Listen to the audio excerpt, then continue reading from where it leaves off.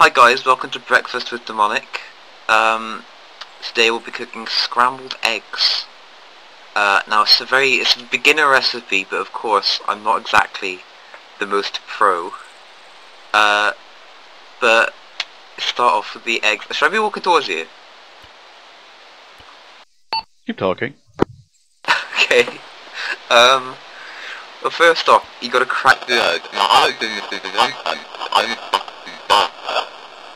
Is just uh, you know. and then you just eat the egg because this you know breakfast with demonic. We don't have time to do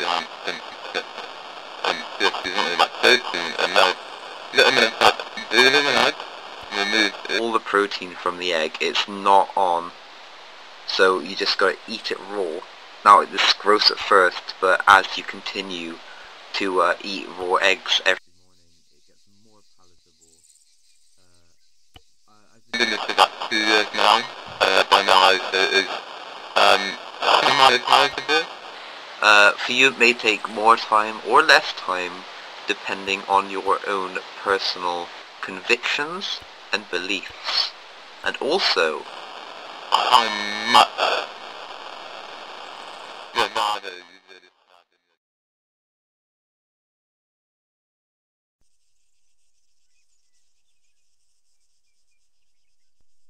how far away are you now?